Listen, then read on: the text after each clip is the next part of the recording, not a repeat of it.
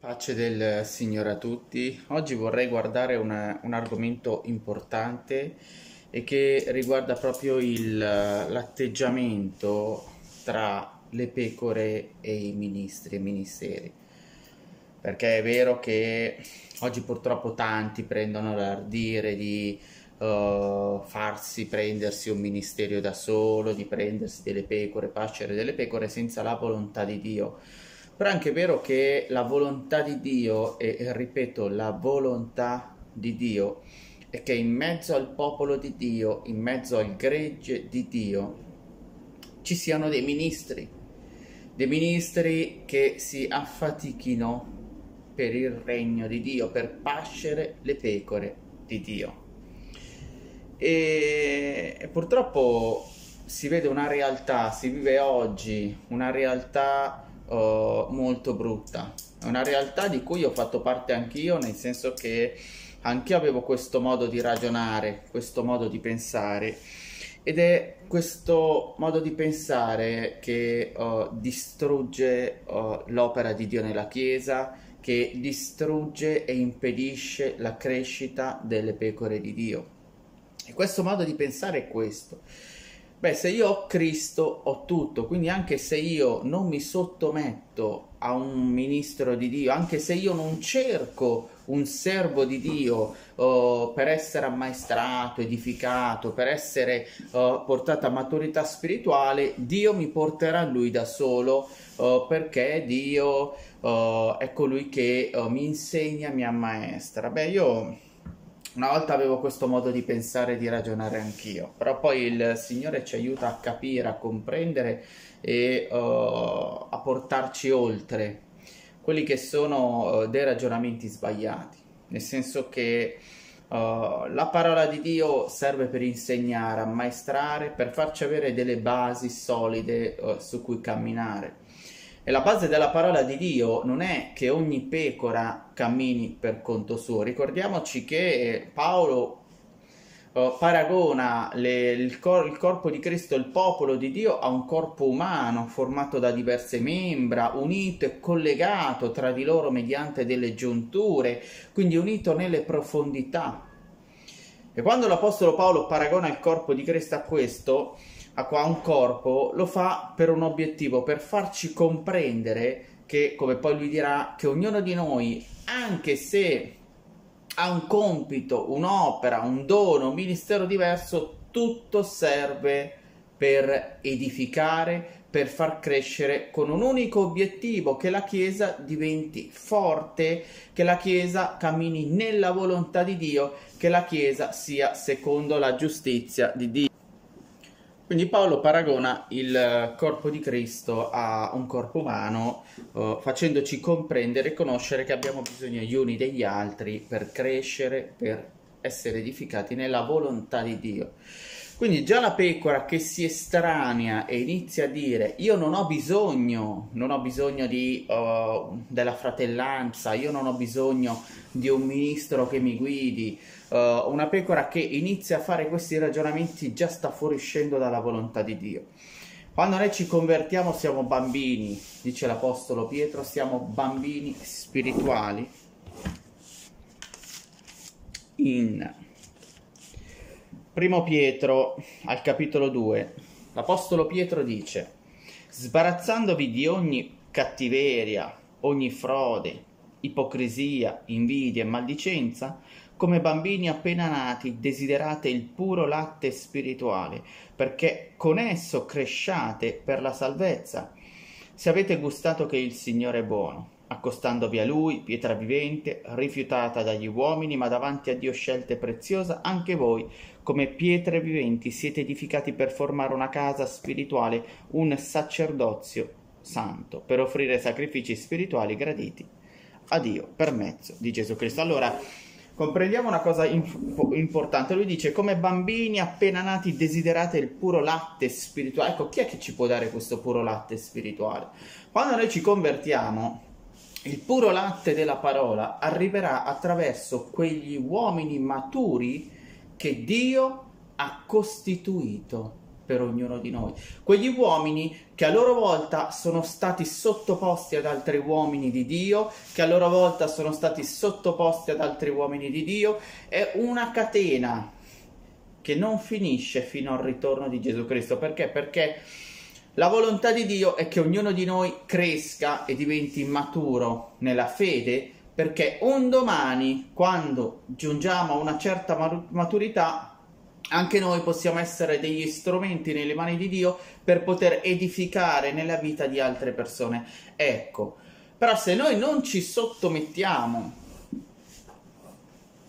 alla volontà di Dio, quindi non, in, non ci sottomettiamo ai conduttori, non ci sottomettiamo a coloro che si affaticano per insegnare l'Evangelo, a coloro che hanno raggiunto la maturità spirituale, sono guidati dalla volontà di Dio per istruirci nella verità, se noi non ci sottomettiamo a loro, noi non ci stiamo sottomettendo neanche a Dio.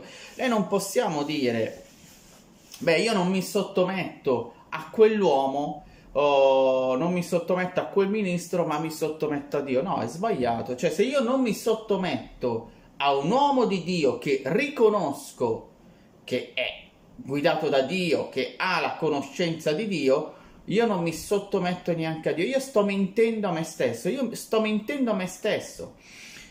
Nella parola di Dio ci dice che, non, che, noi non possiamo dire che amiamo Dio, ma poi odiamo i nostri fratelli. Ecco, è la stessa cosa, perché se noi non, odia, se noi non amiamo coloro che vediamo, non possiamo amare colui che non vediamo. Ecco, è la stessa cosa. Se io non mi sottometto a un servitore, a un ministro di Dio che Dio pone davanti a me, io non mi sto nemmeno sottomettendo a Dio. Perché? Perché la volontà di Dio è che ogni pecora sia sottomessa al ministro che Dio gli ha posto davanti. Sottomettersi vuol dire ubbidire, ascoltare quello che lui ha da dire. Se ci riprende nella verità, noi lo dobbiamo ascoltare. Perché oggi viene fatta passare la riprensione come qualcosa di brutto, no? come un giudizio, ma è scritto che Dio riprende coloro che ama e anche i ministri riprendono le pecore che amano perché le devono guidare nella verità. Quindi la riprensione fa, fa proprio parte della, uh, dell'amore di Dio che si manifesta nel cuore di quelle persone. Tanti si allontanano perché magari vengono ripresi nel bene da parte dei ministri, allora iniziano a disprezzarli perché iniziano a guardarli come persone che giudicano, come persone che si, uh, che si impicciano degli affari della vita di quella persona, ma stiamo scherzando, cioè riusciamo a comprendere e a capire che un ministro riceve da parte di Dio l'autorità ma soprattutto l'impegno importante di prendersi cura di una o più pecore.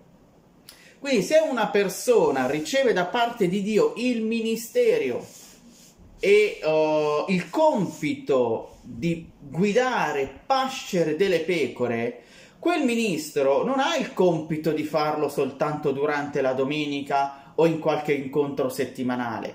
Quel ministro ha il dovere e il compito da parte di Dio di guidare quelle pecore in ogni momento della loro vita, cioè di uh, informarsi su chi ascoltano, chi seguono spiritualmente parlando. Quindi se, uh, se io dovessi avere sotto delle pecore, io dovrei informarmi loro su chi ascoltano, cioè quali uh, predicatori stanno ascoltando per comprendere anch'io se loro stanno ascoltando predicatori che predicano la sana dottrina o se stanno uh, ascoltando mercenari, se stanno ascoltando uh, eretici cioè, capite, il compito di un pastore, cioè di un ministro, è proprio quello di prendersi cura delle pecore di Dio e pascerle anche nella vita al di fuori degli incontri comunitari, degli incontri di chiesa. Però le pecore devono mettere anche il ministro in... Uh, non devono mettere il ministro in difficoltà, nel senso che se uh, noi vediamo un uomo di Dio che cammina nella verità di Dio, che fa la volontà di Dio, che anche durante la settimana ci scrive, oh, ci chiama per chiederci come stiamo, come va, come non va, se abbiamo sentito qualche culto, chi abbiamo ascoltato. Uh, noi non lo dobbiamo vedere come un uomo che si impiccia degli affari nostri, noi non lo dobbiamo vedere come un uomo che si sta impicciando degli affari nostri, ma lo dobbiamo vedere come un uomo di Dio, guidato da Dio, che sta cercando di pascere la nostra anima al meglio, che sta cercando di farci camminare al meglio nelle cose spirituali. Cioè io riconosco di più l'unzione e la presenza di Dio, la guida di Dio su una persona che fa questo piuttosto che su una persona che non lo fa, perché una persona che non fa questo non ha ancora compreso qual è realmente il compito di un servitore di Dio. È una pecora che invece di apprezzare e amare l'opera di questa persona che, uh, che cerca di, uh, di pascerlo al meglio, lo disprezza e si allontana, non ha realmente capito qual è il compito di una pecora di Dio. E tanti fanno passare questo comportamento questo comportamento di, da parte delle pecore, no? il fatto che oh, se il ministro ti riprende, se il ministro oh, si affatica, no? ti chiama, cerca di comprendere chi ascolti, chi segui, oh, quali sono, qual è la tua cosa, cioè, che cosa, cosa credi, se ti stai sviando dalla verità, cioè non riconoscono in quel ministro l'opera di Dio, ma riconoscono invece in quel ministro un impiccione iniziano a dire questo è un impiccione. No, non è, non, non è, la volontà di Dio questo. Cioè, se io mi comporto così, non mi sto neanche sottomettendo a Dio. Io la chiamo la finta fede. Perché nella parola di Dio è scritto che la fede viene dall'udire e l'udire viene dalla parola di, di Cristo. Che cosa ci insegna la parola di Cristo?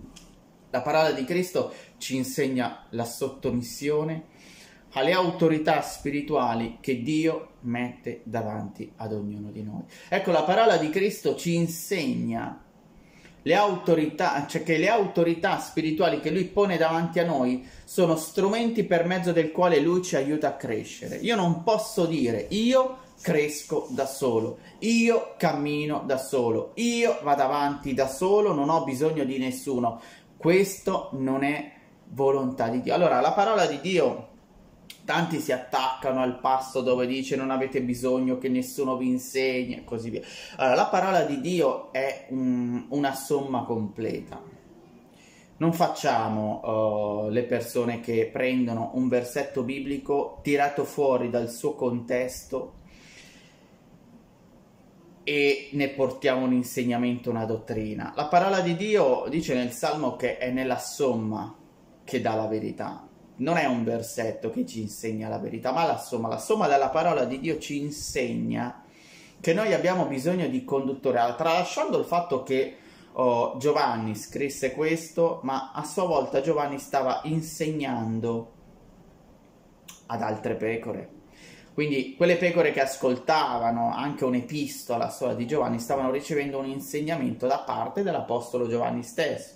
Quindi noi dobbiamo prendere ogni passo nel suo contesto e cercare di comprendere. La parola di Dio nella sua totalità ci insegna che le pecore hanno bisogno di sottomettersi a delle autorità ministeriali che Dio istituisce in mezzo al corpo di Cristo perché ne abbiamo la l'assoluta verità, cioè ne abbiamo l'assoluta necessità, scusate, ne abbiamo necessità, cioè noi pecore abbiamo necessità di avere sopra di noi uomini maturi, uomini maturi che con l'esperienza sono cresciuti nella volontà di Dio, che ci aiutano a crescere anche noi per fare la volontà di Dio.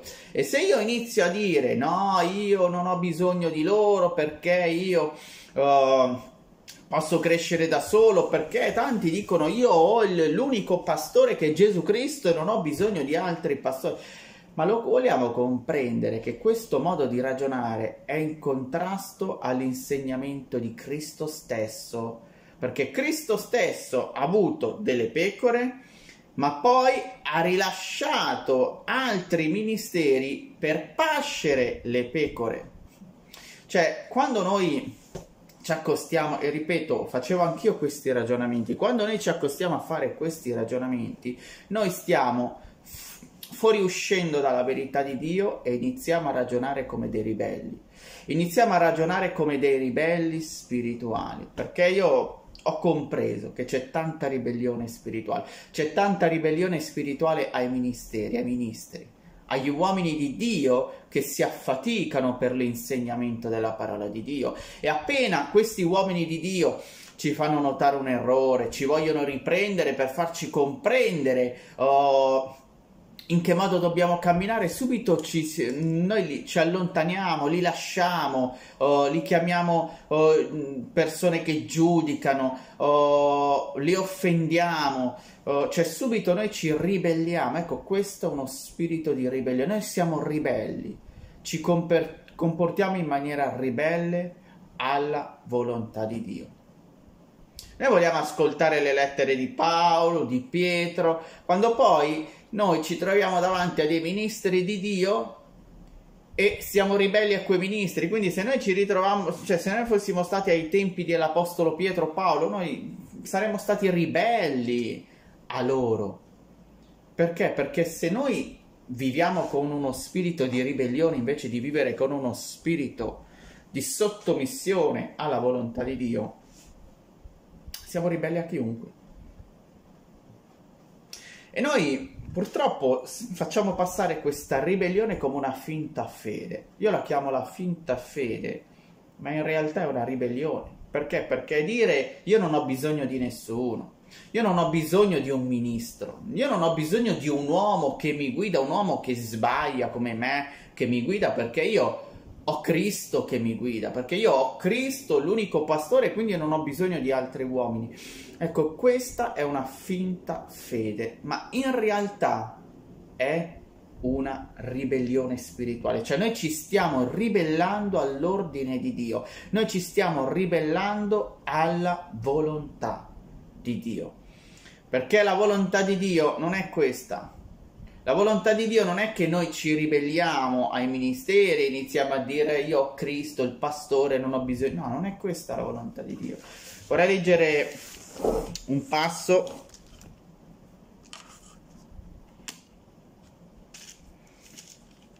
in Efesini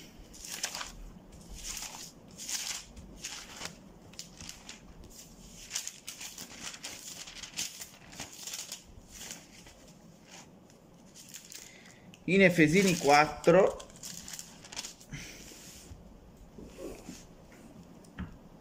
dal versetto 11 che dice così.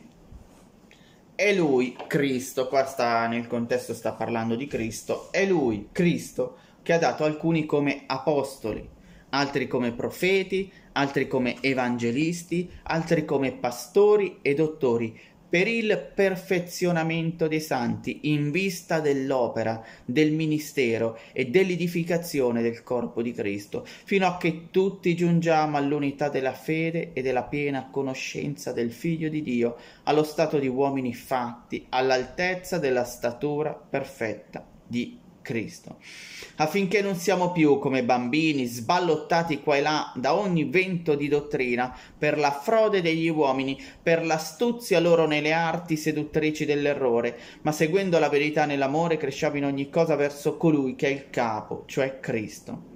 Da lui il corpo ben collegato e ben connesso mediante l'aiuto fornito da tutte le giunture, trae il proprio sviluppo nella misura del vigore di ogni singola parte per edificare se stesso nell'amore. Quindi è Lui, è Cristo che ha dato dei ministeri per il perfezionamento dei santi, per la crescita dei santi, affinché tutti i santi possano giungere all'unità perfetta. Quindi senza i ministeri che Dio, i ministri che Dio ti pone davanti, tu non, non raggiungerai mai la perfetta statura di Cristo. Tu non ti perfezionerai mai nel tuo cammino, perché loro sono persone che nella loro esperienza hanno compreso come camminare con Dio e possono passare quell'esperienza a noi.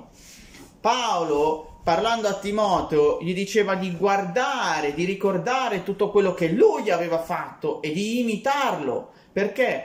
Perché lui nella sua esperienza, nella sua crescita, nel suo cammino, quello che aveva ricevuto da Dio, lo aveva rilasciato nel suo cammino verso coloro che lo guardavano e ascoltavano e chi lo guardava ascoltava poteva imitare la sua, la sua condotta per compiacere Dio. Ma se io non mi sottometto ai ministri di Dio, io non mi sto sottomettendo a Dio. E se io sono un ribelle ai ministri, io sono un ribelle a Dio. Mettiamocelo nella testa. Se io mi ribello ai ministri di Dio, non i mercenari, perché poi esistono i mercenari, ma Dio ci dà discernimento attraverso la loro predicazione, attraverso quello che noi andiamo a leggere, se effetti, effettivamente sono ministri di Dio. Guardandone il frutto, noi comprendiamo se l'albero è un albero buono o no. Però se io comprendo che quello è un albero buono, ma quando mi riprende mi arrabbio, ma quando mi riprende mi allontano, ma se uh, inizio a dire che quello è uno che giudica, che quello è uno che non si fa gli affari suoi, se il ministro mette mano nella mia vita nel senso che mi chiama, cerca di capire io chi ascolto, io come sto camminando spiritualmente al di fuori della predicazione domenicale, perché il ministro di Dio non si basa solo sulla predicazione domenicale, quello è un punto su cui insegna. Ma poi ti può chiamare durante la settimana, magari per, per parlarti del Signore, per uh, capire tu come stai camminando, come stai vivendo, quale situazione stai passando. Cioè, questo è un ministro di Dio. E se io mi rifiuto di sottomettermi a una tale autorità spirituale, io mi sto rifiutando di sottomettermi a Dio.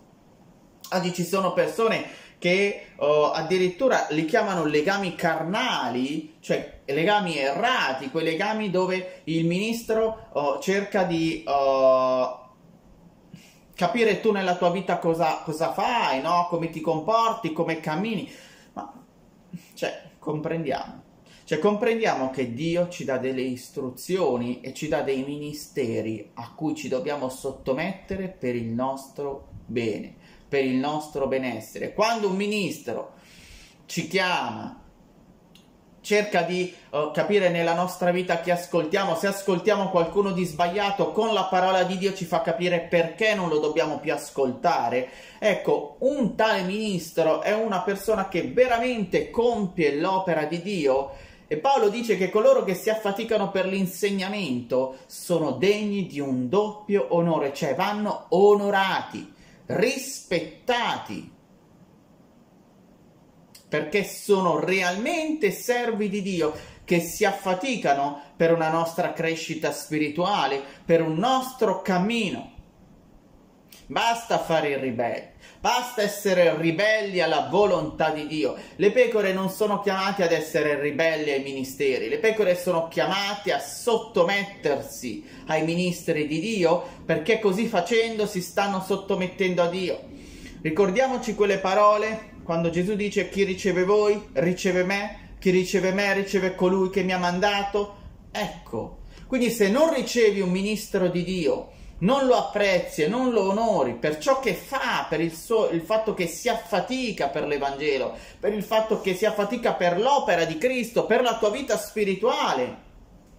Tu stai disprezzando Cristo stesso, stai, stai allontanando Cristo stesso e questa non è la volontà di Dio. Svegliamoci, è tempo di svegliarci, è tempo di comprendere che Dio ci sta chiamando a comprendere qual è la sua volontà e la sua volontà non è che ognuno di noi cammini per i fatti propri.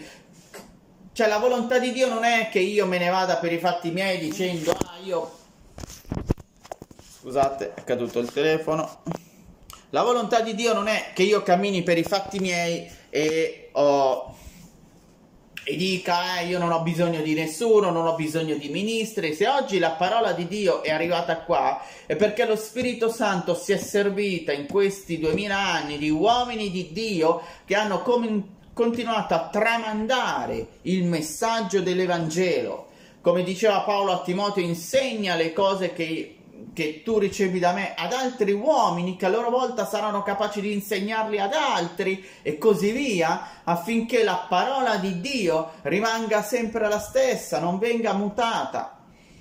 E anche facendo così, purtroppo ci sono stati uomini che ribelli ai ministri, ribelli alla volontà di Dio, ribelli alla guida dello Spirito Santo, hanno iniziato ad andarsene da soli e andando, e andando via da soli hanno iniziato a tirar fuori dottrine, insegnamenti sbagliati, hanno iniziato a infangare il messaggio dell'Evangelo. E oggi noi siamo qua a combattere per cercare di ritornare a quella vera parola pura, pulita, che è stata tramandata prima per mezzo degli apostoli e che poi doveva rimanere salda. Ma ci sono uomini di Dio, uomini di Dio che insegnano la parola così come è, che insegnano la parola nella sua purezza, nella sua interezza, che non sono attaccati al denaro, che non sono attaccati alla vita materiale, che non vivono l'Evangelo come una vita mate- come qualcosa di materiale, ma lo vivono nello spirituale, per insegnare noi qual è la volontà di Dio Scusate, ho dovuto interrompere un attimo. Quindi la volontà di Dio è che ognuno di noi si sottometta alle autorità spirituali. Perché ripeto, se la parola di Dio è arrivata qua è perché ci sono stati ministri di Dio guidati dallo Spirito Santo che hanno fatto sì che l'Evangelo andasse avanti. E se anche c'è tanta confusione perché ci sono persone che tagliandosi fuori dal corpo di Cristo hanno iniziato a insegnare cose che non hanno né capo né coda. Hanno iniziato dicendo io sono guidato da Dio, io non ho bisogno di nessuno e intanto con questi ragionamenti si è fuoriusciti dalla verità e si sono messi a insegnare cose che non dovevano.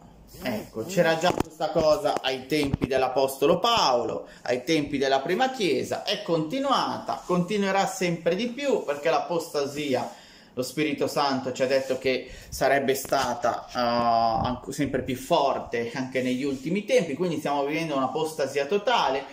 Ma se noi non ci sottomettiamo alle autorità ministeriali, l'apostasia, nell'apostasia ci entriamo anche noi.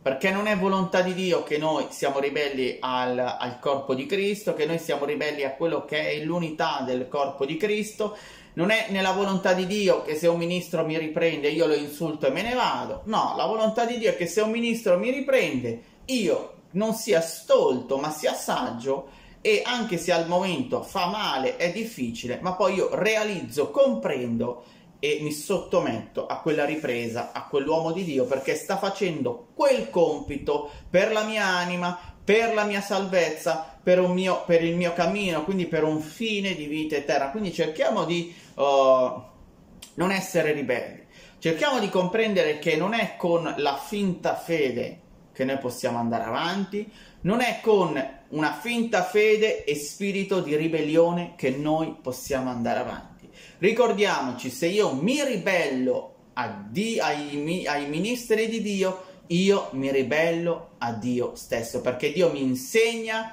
mi riprende e mi ammaestra mediante i suoi servi e se io mi ribello a loro, mi sto ribellando a Dio. Vogliamo ribellarci a Dio?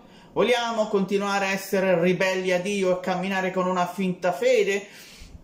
O vogliamo svegliarci e iniziare a camminare con una fede vera? con una fede reale fondata su quello che è l'insegnamento della parola di Dio che ci insegna a stimare gli uomini di Dio che si affaticano per l'insegnamento, a guardare il loro cammino, a vedere come camminano e poi a imitarli. Se ci riprendono, ad accettare la riprensione perché lo stanno facendo per il nostro bene e se ci riprendono a non guardarli come persone che non amano, anzi persone che amano più degli altri perché hanno il coraggio e l'ardire nella grazia di Dio di riprenderci affinché ne possiamo camminare secondo la volontà di Dio.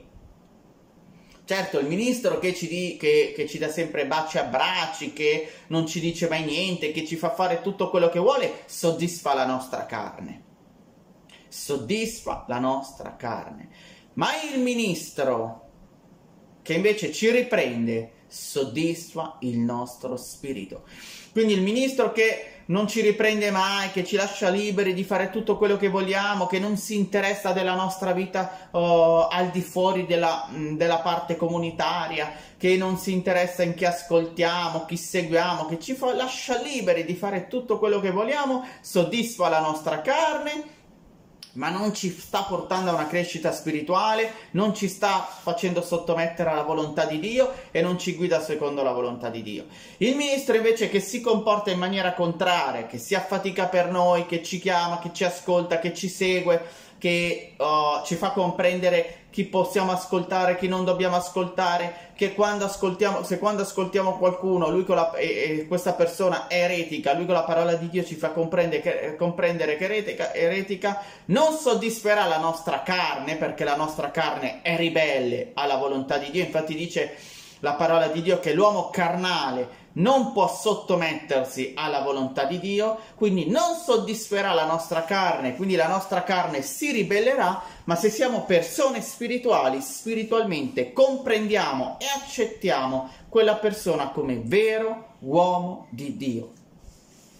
Ricordiamoci che noi siamo nello spirito e non nella carne, perché se viviamo nella carne noi moriamo, ma se viviamo nello spirito invece ci sottomettiamo alla volontà di Dio. Gli ebrei camminarono nella carne e si ribellarono sempre a Mosè, si ribellarono sempre alla volontà di Dio e infatti la loro fine è stata la morte. Invece quando noi camminiamo nello Spirito, comprendiamo e ci lasciamo guidare dallo Spirito Santo, tutto quello che per noi è carnale, quindi la ribellione, il non sottometterci, l'orgoglio, cioè sono tutte cose che devono essere messe sotto i piedi. Dice l'umiltà precede la gloria. Ed essere persone umili vuol dire anche essere persone che si lasciano modellare, trasformare, perché una persona umile è una persona che ascolta, che pondera quello che gli viene detto, mentre una persona orgogliosa, superba, una persona che non ascolta, che non gli interessa niente. Quindi la persona orgogliosa è una persona che non si lascia ammaestrare. Una persona umile è una persona che si lascia ammaestrare da Dio e dai servi di Dio. E l'umiltà precede la gloria. Quindi noi non siamo ribelli non so se sono riuscito a trasmettere il mio messaggio. Io, ripeto, ero anch'io una persona ribelle alla volontà di Dio. Ero una persona ribelle alla volontà di Dio perché mi ribellavo ai ministri di Dio, perché io camminavo da solo, dicevo, vabbè, io posso camminare da solo, uh, ho Cristo il mio pastore, non ho bisogno di nessun altro. No, non funziona così. Anche se tu conosci la parola di Dio e oh, non cammini nell'errore, non cammini nel peccato, oh, camminando da solo intendo, cioè vai avanti camminando in una maniera giusta, ma continui a ribellarti ai veri ministri di Dio, tu stai sbagliando. Tu non ti stai totalmente sottomettendo alla volontà di Dio. E Dio vuole che noi ci sottomettiamo totalmente alla sua volontà. Perché soltanto quando Dio ha totalmente il controllo di, nos- di tutto il nostro essere, quindi quando il nostro essere è totalmente sottomesso a Dio, allora nessuno più ci può portare nell'errore, nessuno più ci può fare cadere e portare lontano da Lui. Siamo un corpo, abbiamo bisogno del corpo, abbiamo bisogno di crescere come Chiesa unita, abbiamo bisogno di sottometterci all'autorità dei veri servitori di Dio perché loro ci fanno crescere e servono, sono messi da Dio per perfezionare il corpo affinché poi ognuno di noi abbia da poter dare ad altri e ad altri e ad altri ad altri e anche stare al di fuori di un corpo è sbagliato, cioè stare al di fuori della Chiesa, camminare per i fatti propri è sbagliato perché se noi riceviamo un dono, un qualcosa, non lo mettiamo a disposizione della Chiesa. Che poi oggi si può fare anche tutto online, abbiamo la Chiesa, le membra, siamo in contatto con le membra del corpo di Cristo, ok ma cerchiamo di fare ogni cosa secondo la giustizia di Dio. Non siamo ribelli alla volontà di Dio. Cerchiamo di non essere ribelli alla volontà di Dio. ma cerchiamo di sottometterci ai suoi servi così come egli vuole, perché li ha costituiti apposta affinché ognuno di noi si sottometta. Cioè pensate voi se dopo aver costituito gli apostoli nessuno si sottometteva agli apostoli.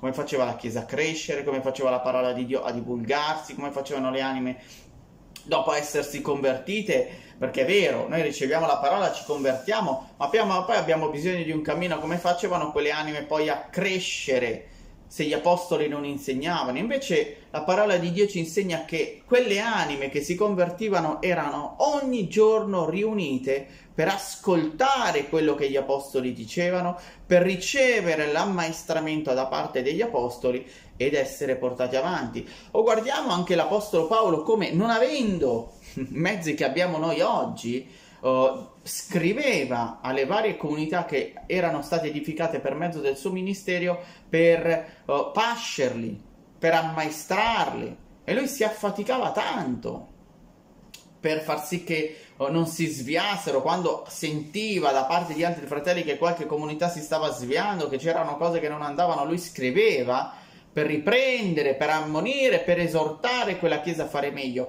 Ecco, e se quelle pecore non si sottomettevano a Paolo, non si sottomettevano alla giustizia di Dio, non si sottomettevano a Dio, erano ribelli non soltanto a un uomo, ma a Dio stesso. Non è questo che Dio ci ha chiamato. Apriamo il cuore all'amore della verità, che è importante aprire il cuore all'amore della verità.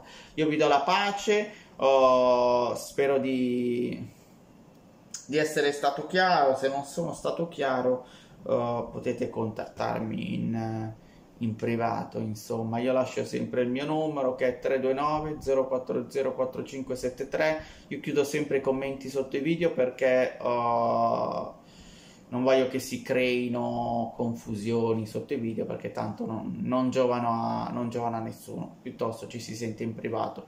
Vi do la, la pace del Signore a tutti, Dio ci benedica.